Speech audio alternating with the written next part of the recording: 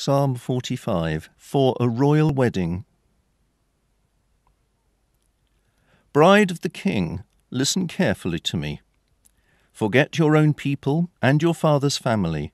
The King is your husband, so do what he desires. All the rich people from the city of Tyre will try to influence you with precious treasures. Your bride, my king, has inward beauty, and her wedding gown is woven with threads of gold. Wearing the finest garments, she is brought to you, followed by her young friends, the bridesmaids. Everyone is excited as they follow you to the royal palace. Your sons and your grandsons will also be kings, as your ancestors were. You will make them the rulers everywhere on earth. I will make your name famous from now on and you will be praised for ever and ever.